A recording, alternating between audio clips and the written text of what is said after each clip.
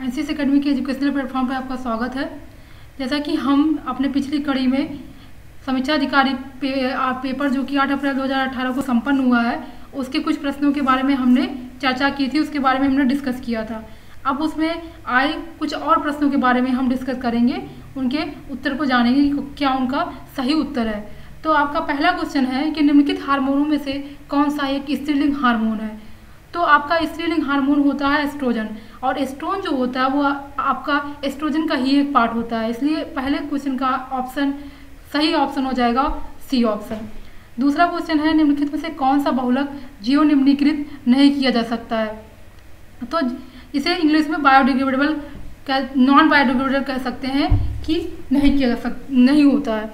तो सेलुलेस स्टार्च और प्रोटीन ये तीनों बायोडिग्रेडेबल होते हैं, यानी कि जियो निम्नीकृत होते हैं, लेकिन पीबीसी जो होता है, उसे हम जीव निम्नीकृत नहीं कर सकते हैं। इसलिए आपका दूसरे क्वेश्चन का आंसर हो जाएगा टू का डी आंसर निम्नलिखित से कौन सा युग्म सही सुमेलित नहीं है?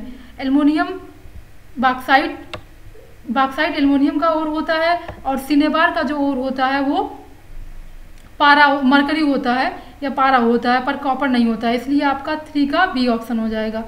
समुद्र फोर्थ क्वेश्चन समुद्री घास निम्नलिखित तत्व का मुख्य तथा महत्वपूर्ण स्रोत है। समुद्री घास आपका आयोडीन का मुख्य स्रोत है। निम्नलिखित में से कौन सा युग्म सही सुमेलित नहीं है? ये बताना सही सुमेलित नहीं है। विटामिन डी की वजह से सुखंडी रोग होता है। विटामिन सी से मसूड़ों से खून आता है। विटामिन बी वन की वजह से बेरी बेरी होता है। तो आपका गलत आंसर कौन सा हो जाएगा? विटामिन ए सही सुमेलित नहीं है, यानी ये आपका सही आंसर हो जाएगा, क्योंकि ये पूछा गया है। फाइव का सी ऑप्शन हो जाएगा। निम्नलिखित में से कौन सा युग्म सही सुमेलित नहीं है? क्लोरोमाइसोस्टीन टाइफाइड नाशी होता है, सही है, बिल्कुल।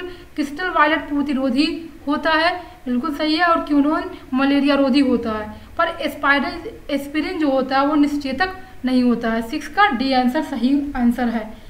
मकड़ियों द्वारा उत्पादित रेशम कहलाता है। मकड़ियों द्वारा उत्पादित रेशम को हम गासमिल रेशम रेशम कहते हैं। साइवन का सी ऑप्शन हो जाएगा।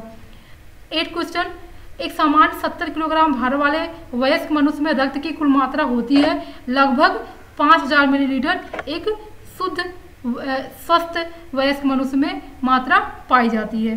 नेक्स्ट क्वेश्चन है। क्वेश्चन नंबर नाइन्थ निम्नलिखित में से कौन सा एंजाइम प्रोटीनों को एम्यूनो अम्लों में विघटित करता है?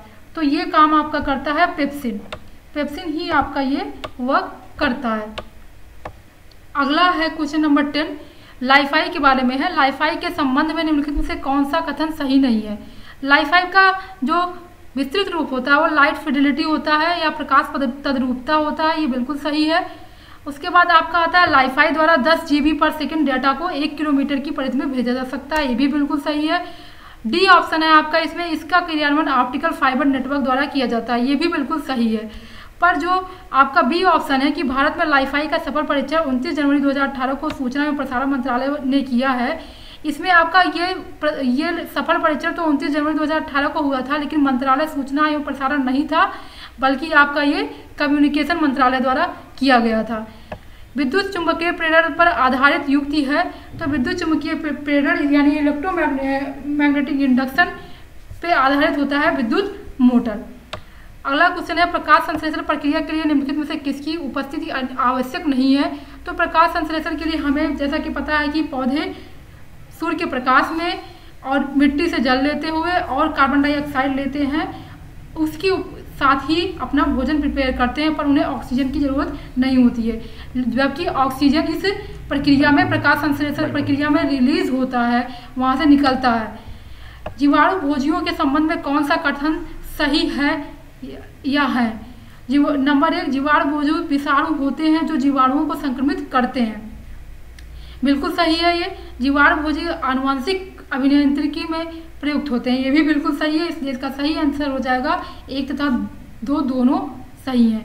ताप के निम्नलिखित में से किस पैमाने में ऋणात्मक मान नहीं होता है? तो पहला सेल्सियस हम जानते ही हैं सेल्सियस में minus four degree, minus two seventy three degree तक आपकी वैल्यू जाती है। फॉरन हाइट में भी आपकी वैल्यू निगेटिव में जाती है, पर लेकिन केल्विन में आपने कभी भी, हमेशा ज़ीरो केल्विन ही सुना होगा। इसके अलावा नेगेटिव में कभी भी केल्विन की वैल्यू नहीं जाती है। नेक्स्ट क्वेश्चन है, दो समान द्रव्यमान की वस्तुओं की गतिज ऊर्जाओं का अनुपात।